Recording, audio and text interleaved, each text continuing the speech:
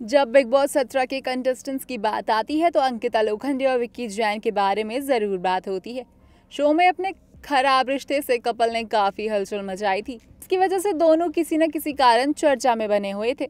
दोनों के बीच शो में कई बार तीखी बहस होते दिखाई गई है। कई बार तो ऐसा लगता था कि वो किसी भी बात पर कभी भी लड़ पड़ेंगे। हालाँकि बिग बॉस सत्रह से बाहर आते ही अंकिता लोखंडे और विकी जैन ने अपने घर पर एक पार्टी रखी थी। जिसकी फ़ोटो अब सोशल मीडिया पे लगातार वायरल हो रही है। सलमान खान की controversial reality show Bigg Boss सत्रह की ट्रॉफी मुनवर फारूकी ने अंकिता लोखंडे के हाथों से छीन ली है। वहीं एक्ट्रेस टॉप थ्री में भी जगह नहीं बना पाई हैं, जिसके कारण उनकी उदासी साफ़ उनके चेहरे पर देखने को मिली थी। सोशल मीडिया पे जो तस्वीरें वायरल हो रही हैं, उसमें अंकिता विकी की बाहों में दिखाई दे रही हैं और दोनों एक दूसरे का हाथ पकड़ सामने नज़र आ रहे हैं।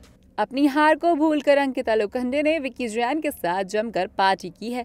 इस पार्टी में बिग बॉस के कुछ एक्स कंटेस्टेंट्स भी नज़र आए हैं। पार्टी में एक्ट्रेस सृष्टि रोड को भी इनवाइट किया गया था।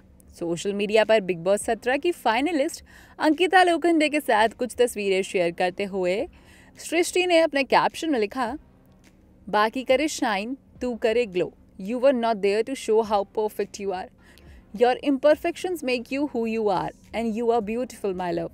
We are super proud to you. You are the winner for us, baby. Well played, Ankita Lokhande. Love you.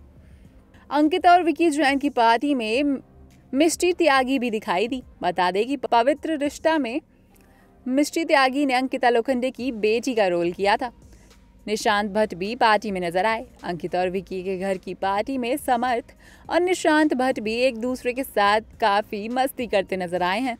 Grand finale के बाद अंकिता लोखंडे से मिलने के लिए अंजलि अरोड़ा भी पहुँची थी।